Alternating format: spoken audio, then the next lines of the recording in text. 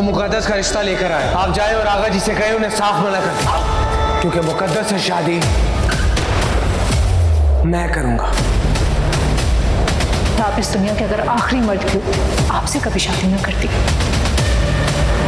किसी और की दुल्हन बनी तो उठा कर ले जाऊँगा तुम्हें। तो फिर मेरी भी एक बात सुन लो तुम। मैं भी देखती हूँ कि तुम मुझसे शादी कैसे करते वो कौन लोग थे? मुझे कहाँ लेकर गए थे? मुझे नहीं पता। बेहोश कर दिया था। मुझे यहाँ कह देती तो इतनी बड़ी बात होने के बावजूद तुम्हें अपना लेता।